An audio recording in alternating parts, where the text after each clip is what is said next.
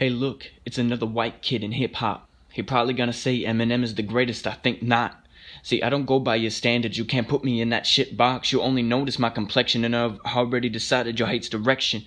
So why would I bother when all you like is chains, bitches, fast cars, and fake flexing? So let me teach you a lesson without seeking attention.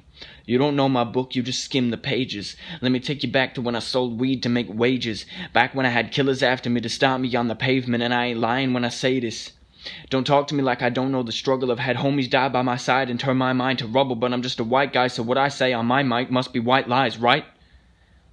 At Gundy school, I was hated and disrespected, bashed every day for my skin is how I learned to be independent. A couple of times I wore a noose as my necklace, acting all reckless is how I learned to never trust people and not to expect shit from people who always expect shit.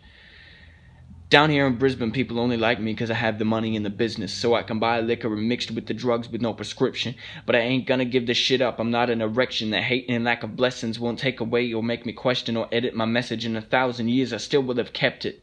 You can call me shit based on what chapter you walked in, but you ain't seen my story, so don't complain when my warm up is you going all in.